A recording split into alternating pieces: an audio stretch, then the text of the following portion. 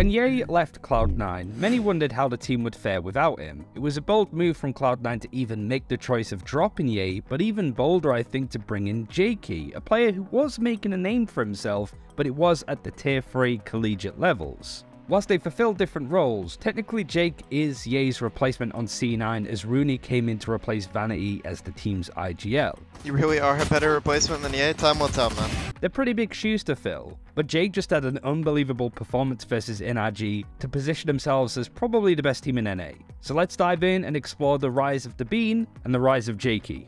We're actually going to start on round 7 on Cloud9's defensive side. The score is 3-all with both teams having a full buy and Jake is currently 2 and 4. C9 also just lost the previous round and their money is really tight for both squads, but Jake is about to go nuclear. On the attacking side of NRG, Victor has an op in hand and C9 need to be very careful with how they contest certain areas of the map so they don't peek into said op. Leaf goes for an updraft to see where the operator is, sees it in mid, and Cloud9 leave mid altogether because of it it. But there is a reason for this. NRG on the attack used the owl drone from the Sova going towards mid, and Cloud9 make a really good call here. They say, hey, three of us can push B main here. If they're going mid, which it sounds like with the owl drone, they're gonna wanna go from mid split to B. So maybe if we just all go B main, we can get a couple of players, win out those fights, maybe even get the spike or at the very least get some information. And that plan worked perfectly because these players from Cloud9 push up in B main and break the turret which sends NRG hurtling into tree,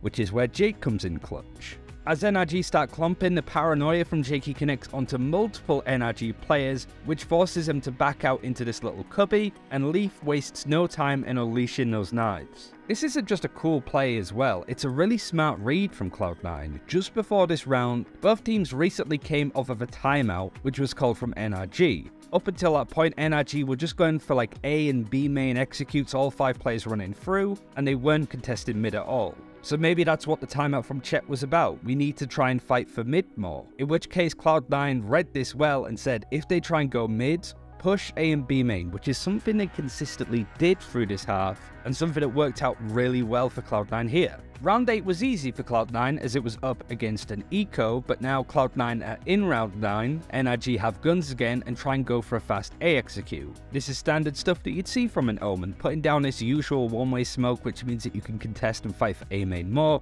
but after this initial aggression from NRG, Jakee puts down the second smoke in the A main choke. Pretty standard stuff. After some initial contact and Finesse using his second and final flash on KO to try and get into the site, we see a nice little counter attack from the Skye and the Omen flashing out from Switch and retaking that space from A back. They don't get a kill, and NRG are actually in a 5 vs 4, but because of that counterplay from the Skye and the Omen, there's no space for those attackers to work with, so they have to come up with a clever plan if they want to get in on A. So a couple of the players from NRG run over towards the B site and place down their Killjoy ultimate to go from what it looks like a standard B execute. But you might have noticed there's still two players from NRG over towards A main still who just try and walk up and take that space helping the Cloud9 rotated away from A towards B because that's where the Killjoy ult is going. But Cloud9 aren't moving. Why is that? Well, I've actually noticed that the Omen Som on NRG actually has his ultimate. So they're expecting that this is a fake with the Killjoy ult and then the Omen would teleport towards A to go for a plant there. And Cloud9 not falling for the bait here works out wonderfully. Jakee gets a little bit lucky. He actually uses his own Omen ultimate to teleport towards B, but because it's in the radius of the lockdown, he just decides to cancel it anyway. Leaf stays on A though, and it works out wonderfully. Nice little crossfire, and NRG just walks straight into them. We move on to round 11, and NRG are also a pretty good team, and they had their own great ideas and counter strats, and this one in particular caught Jakee really well. Cloud9 were finding a lot of control now in the extremities. We saw the round where they pushed B main, in the eco that we glossed over round 8, two defenders actually pushed into A main and held it because NRG were not really taking control of it anymore. And in round 11, Jakee tries to do it again, the Omen one way, and this time he tries to sneak into Wine. This setup for Jakee is pretty clever because most KOs on attack nowadays in the pro scene will do this lineup to check and clear A main and wine. If the Omen was there, he'd be caught. And because NRG were actually using their KO knives towards B a little bit more, Jakee knows that he can sneak in and he thinks he's in the clear by staying in his spot. Especially when Crashies comes around the corner with an owl but doesn't clear wine. Jakee must have been sat there thinking, they have no idea I'm here, they could have cleared me and they didn't. But then this brilliant combo comes out. Finesse on the KO going through mid uses his ultimate and walks through tree to the A site. The radius of this does catch on to where the Omen is so he can't teleport or smoke himself out. And Crashies who was in A main, backs off all the way back towards Gelato and ults into Wine, getting a tag onto Jake, forcing him out of that corner and allowing Som to get the kill. Jakee was left high and dry, it's a nice little combo between three players, and the execute comes in smoothly afterwards for NRG as they pick up their fourth round. As we swap over to Cloud9's attacking side, they went into halftime with an 8-4 lead. Round 12 had them push A main as a free stack again to wrap around behind NRG who went mid, but what can Cloud9 do on attack? On this side, Jakee's job is made a lot easier because of the Viper that's also on Cloud9's team, and this Viper wall that you typically see that's placed B main. It allows the players from Cloud9 to push up all the way to the choke where they can explode out with the Jett. Jakee on the Omen smokes CT initially, and then paranoias across switch and stairs, just after Skye throws out a flash into the main choke. We see the Jett smoking the switch, dashing into it, and then getting the kill onto a flashed Crashies. We then see Jakee teleport from the choke into logs, hugging this right hand wall whilst Leaf clears market and closes the door. Jakee from this spot then re-smokes CT and then sits in this position by market door. It's something we'll see a lot from him. What I like here is that after the door is broken and all of the smokes and walls go down, Jakee goes for a super wide peek against an unsuspecting Ardiis he gets the kill and at least information on where the last two defenders are playing from. It's a 4 versus 2 in favour of Cloud9, a plan and a ninth round on the board. Round 14 and NRG are forced to save. Nothing too crazy to highlight here, it does go the way of Cloud9, but check out Jakee teleporting up towards this box in mid. It's a nice position because you're not too open from anybody playing in mid. You can smoke off short and hold for any defensive aggression, and has the help of the Skye to flash him to get into that position in the first place, but also flashing him to get out after he gets the kill in mid. But NRG are not done. They pick up their first full buy on the defensive side after this, and also pick up rounds 16 and 17.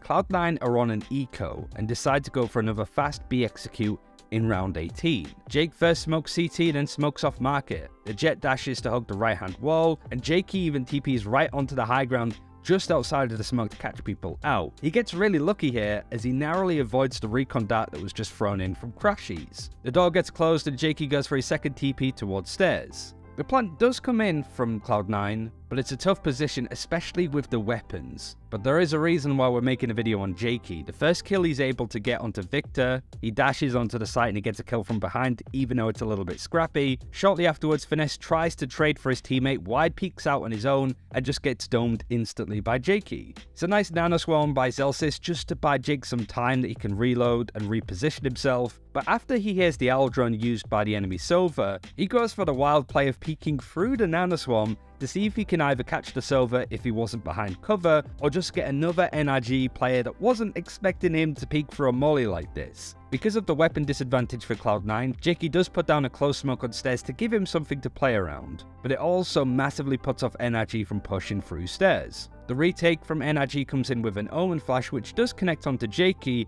and we can see it from his perspective. He gets the kill nicely onto the player of Som that's peeking out and then wins the fight against Crashies wall banging him at the end through the box to secure a Sheriff 4K in a full buy from NRG. Look at his reaction. It's unbelievable what he was able to do here. But now round 19, Cloud9 are just two rounds away from winning this map and this series, and in round 19 things start off awkwardly as Leaf goes down first in B main. NRG are also scrambling to put off this B execute by using their own null command from KO. Cloud9 decide to cut noise here, pretend that they're rotating towards mid and A, and we do see Jakee actually fake a smoke towards mid, trying to sell that fake a little bit more. But unfortunately, it's a little bit late in the day from him, and Finesse has already cleared it and is preparing to flank. A scrappy fight initially comes through into that B main choke, and Jakee finds himself again in his favourite spot by the market door. He smokes it off, but instead of holding that position again, he actually pushes through and catches Finesse that was in the bottom of mid that's now trying to rotate through, taking him by complete surprise. Som knows that Jakee likes to play here, he hits him with his own paranoia, and whilst fully blinded, Jakee does manage to TP into cover on logs, but unfortunately Som reads this really well and clears him out on that position. Nevertheless, there's a Viper's Pit on the site, a plan, a good amount of time already wasted, and a 2v2 to Cloud9 win. And it's honestly just nice to see an aggressive Omen doing some work here. But this is definitely a case where we're saving the best round till last from Jake. Before I highlight this execute, I've seen pros do this hot peek a couple of times from Som, just banging your head on rafters on that A site. It allows you to check for info in that choke, without being an open target by peeking wide or jumping normally. So Som sees his execute comes in and smokes off A main. Because we haven't highlighted the utility that comes out of Jakee on an A execute, we first see the smoke towards switch, and then a flash cutting across Switch and also the entirety of Jenny. At the same time, Leaf dashes on top of Jenny to clear anybody out. The second smoke does come in a little bit later onto Rafters, but I also really wanted to highlight the smoke that Som puts down here to give him something to play around, make it really ratty, and maybe win a couple of fights or isolate some of these duels. Unfortunately though, he gets routed. It's not done yet from NRG though. Ardiis still has his Killjoy lockdown, which should clear Cloud9 off of the site at least, but unfortunately for them, Jake has his Omen ultimate again. And he times it perfectly to teleport to safety when the lockdown goes off and then cancels it to return to site. And also because Jakee teleported so far away from everybody else, none of NRG can hear the cancel sound that comes in from Omen. So NRG try and clear the site which they think is now free, and get completely bamboozled that Jakee is still there. He catches Crashies and an artist to win out the series. The main thing to highlight at the end of this video is that MCE has managed to do it again. He's found young talent with huge potential and managed to make both Jakee and runi sing in this roster. Replacing Yay and Vanity is no easy task, but these guys look super exciting and I'm really excited to see where Cloud9 and where Jakee can go this year. But judging off previous videos that I've done on NRG and Sentinels, they're most likely going to get bodied because every time I make a video about how good a team are, they get absolutely destroyed the next game. But thanks for watching, check out the video I did on Sentinels' loss to Leviathan and what happened for them to fire their coach, and I'll see you next time. Take care.